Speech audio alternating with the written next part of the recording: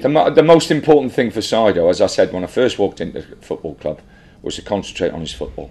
If he plays well and does well at this football club, then hope, hopefully for him and for everybody else, a top four club might come in. And West Bromwich Albion will not stop him, um, as long as the deal's right for the club, will not stop him joining the top four club.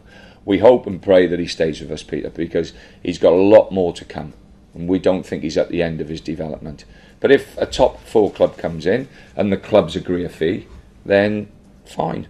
And then it's all done. People can shake hands and say what a great job he's done for the football club. Not only has he been here since a young kid and we've looked after him, but the club have made a, a, you know a money on him and we have to reinvest in other people. That's you know that's the fact of life. I think Saido's been in the shop window for the last year or so. I think people have been talking about him and rightly so. And you know, as I've said before to Peter, uh, there's no problems with that. Every football club understands. The most important thing is that the Saido keeps that to one side and concentrates on his football. Because that's why people are talking about him. Because he's played well on the pitch, because he's done the business on the pitch. And he's got his head down and really worked hard. And, and you know, if you have a look at his running stats again against Chelsea, they're absolutely fantastic. Never mind the two goals he scored.